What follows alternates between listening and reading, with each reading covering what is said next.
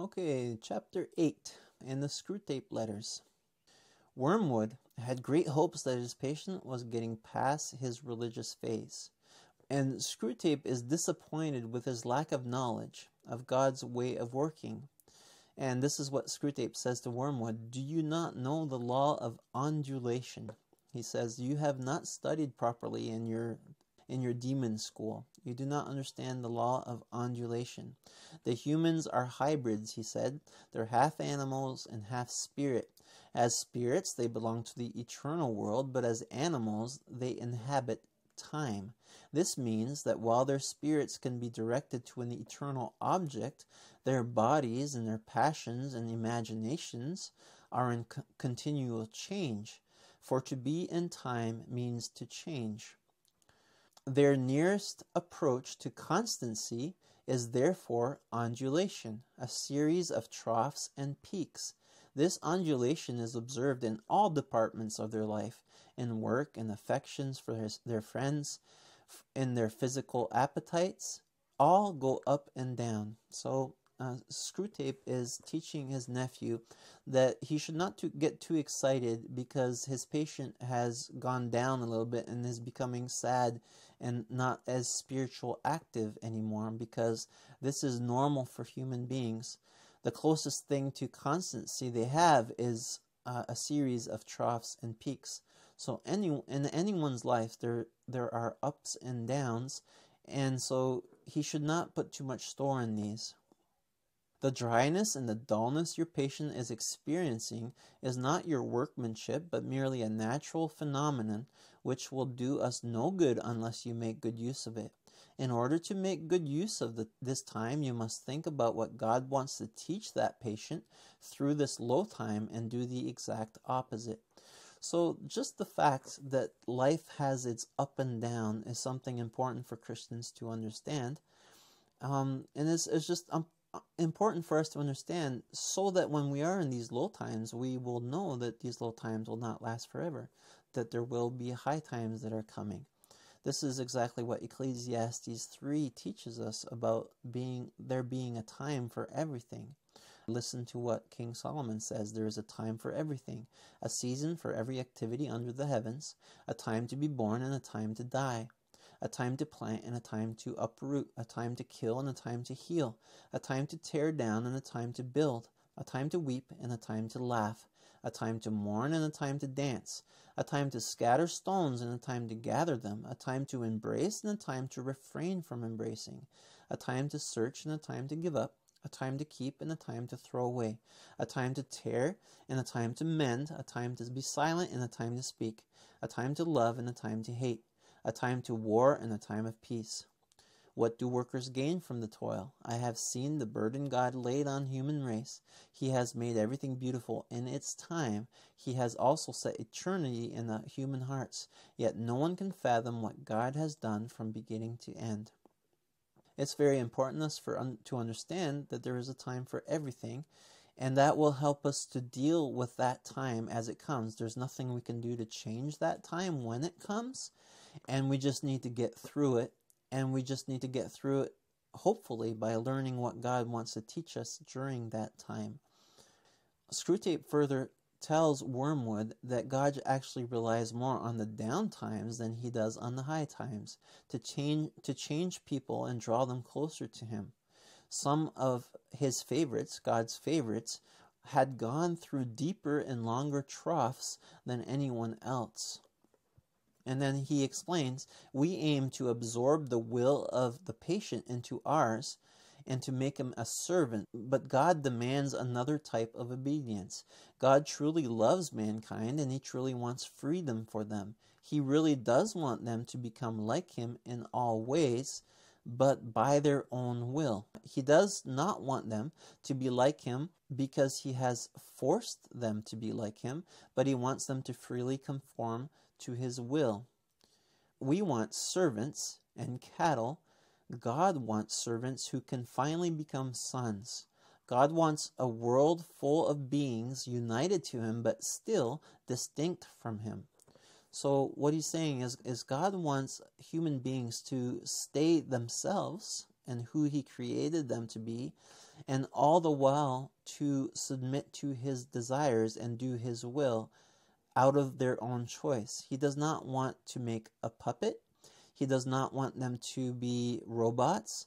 He wants them to be distinct beings that choose to do his will out of love for him. Whereas Satan just wants submitment. Galatians 4 1 to 7 what I am saying is that as long as an heir is underage, he is no different from a slave, although he owns the whole estate. The heir is subject to guardians and trustees until the time set by his father. So also, when we were underage, we were in slavery under the elementary spiritual forces of the world. But when the set time had fully come, God sent his Son, born of a woman, born under the law, to redeem those under the law, that we might receive adoption to sonship. Because you are his sons, God sent the Spirit of His Son into your hearts, the Spirit who calls out, Abba, Father. So you are no longer a slave, but God's child. And since you are His child, God has made you also an heir. You see, here Paul explains th- that a son is, is no different than a slave at first. He has to learn the, his father's work before he can become a real son or become a, a co worker with his father therefore, us Christians also, we were under law first. The law had to teach us humility and had to teach us uh, what God required. And later, God sent His Son to give us grace so that we could become His Son and that we can be co heirs with Him. Hebrews 12:1 No discipline seems pleasant at the time but painful. Later on, however, it produces a harvest of righteousness and peace for those who have been trained by it. You see, God uses, as Screwtape says, the troughs, the lows, and the highs in our life to to teach us, and this is painful at the time, but if we are willing to learn, if we choose to learn from it, this produces righteousness and peace in our lives. And therefore, we can start doing God's will by our own desire through His strength and still remain ourselves. Screwtape says to his nephew, You must have wondered why the enemy does not use more of his power to make himself known to humans in a more tangible way. You now understand that God cannot use the two weapons we know as irresistible and indisputable to merely override a human's will by his presence. This would be useless to him. God wants them to be one with him and yet themselves he does not want to cancel them out. He says God does not show himself to humans in an irresistible way, an indisputable way, so that he completely over, overrides their desires and their will. Because if he did this, they would no longer be themselves and they would be become a puppet to him because he is so powerful and wonderful he, he further goes on and says, at the beginning, of course, he is prepared to do a little overriding to initially draw them to himself, but he never allows this state to last long. Sooner or later, he withdraws from their conscious experience. He leaves them to stand up on their own to carry on with their duties without his direct intervention. It is then that they go through hard times, and yet it is then they grow to be more like Him and truly change their will. At first, when a, a, per, a person first becomes a Christian, he does override in a way. He comes in and he shows himself in such a way that it is indisputable. But then he withdraws himself so that they can make a choice to choose to follow him or not he never completely overrides their freedom because he wants them to choose to follow him and not be forced to follow him. And this is why he allows them to go through ups and downs in their life. And it is through the ups and downs that they grow to love him more and serve him more and become more like him by their own choice. We see an example of this in, in Scripture in the conversion of Lydia in Acts 16 13 to 14. On a Sabbath, we went outside the city gate to, to the river, where we expected to find a place of prayer. We sat down and began to speak to the women who had gathered there. One of those listening was a woman from the city of Thyatira named Lydia, a dealer in purple cloth. She was a worshiper of God. The Lord opened her heart to respond to Paul's message. See, God opened the heart of Lydia in order that she can respond. It is her that is responding. He's not overriding her desire and her will, but he is showing himself to an extent that she can respond because we know that no one will seek God unless he shows himself to them. No one will turn to God. No one seeks God. And therefore God must come into someone's life through the through the gospel and through the work of missionaries and he must override the person to the extent that they can make a choice. If he didn't do this, no one would ever make a choice for them. So there is there is a game here being played where he comes in and he shows himself and then and then people can respond. But once people respond, God does not come and take complete control over someone's life and does everything for them because then he, he'd be playing puppets and that's why there's so much sin in our lives. The Holy Spirit doesn't come uh, to the point where he takes complete control of us and we become uh, angels and, and we do everything right. There is our part to play. We keep, we need to offer ourselves as a living sacrifice to God. There is our part because he never wants to completely override our desires. He wants us to become sons. He does not want us to become robots or puppets. And, and this is uh, this is what Screwtape is explaining to Wormwood. God wants them to learn to walk, and therefore he must remove his hands from them. And if the will to walk is there, he is happy with their stumbling. God is making sons out of children, and he wants them to walk on their own. And in order to do this, he has to remove his hand from them.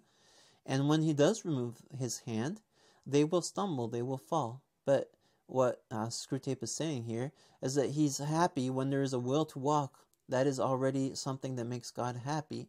And uh, He's even happy when they stumble, as long as they get back up and keep on trying to walk. And this is according to His desire. 2 Peter 1 5 to 8. For this very reason, make every effort to add to your faith goodness, and to goodness knowledge, and to knowledge self control, and to self control perseverance, and to perseverance godliness, and to godliness mutual affection, and to mutual affection love. For if you possess these qualities in increasing measure, they will keep you from be, being ineffective and unproductive in your knowledge of our Lord Jesus Christ. We have come back to this verse again and again and we see that we are to add, of course, with the help of the Holy Spirit, but He does not override our, our will to just give us that and hand it to us without our desiring it and without, without us trying to get it. So it is our job to add to our faith goodness and knowledge and to keep on growing. And that will keep us from being ineffective and unproductive in our knowledge of the Lord Jesus Christ. So God uses these ups and downs in our lives to draw us closer to Him. And this is how Screwtape ends this chapter. This is why God loves the prayers that are offered to Him during the states of dryness. It is very dangerous when a human is going through a dry spell, no longer wanting to continue, no longer seeing God's presence, and yet continuing to obey. He's saying it's very dangerous when a Christian is in that state where he is, uh, in a way, hopeless and doesn't see God's hand working and, and God's not holding him, or and it's not a, a time of peace and joy, but yet he continues on within his faith in obedience and, and this is very valuable it is it is life changing for the human being and it draws them in the end closer to God. And obviously, this is not what Satan wants.